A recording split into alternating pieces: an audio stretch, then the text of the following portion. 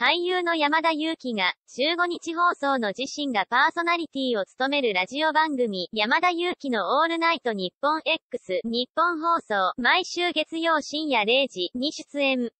13日に横浜アリーナで開催された山田裕貴のオールナイト日本 X 横浜アリーナ王に俺はなるの裏話について語った。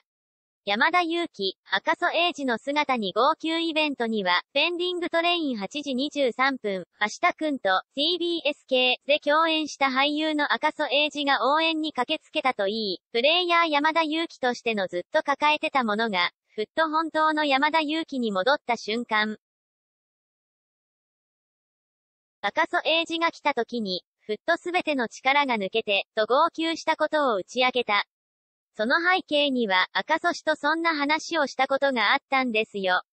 みんなの前で笑ってる自分がいる、と話していたことがあったようで、惚れ繋がってると感じた日があったの。ペンディングトレイン、ド6話の撮影の時に。今でも忘れない、深い話をしたこと。いやー泣いたな、あれは、と感慨深そうに語っていた。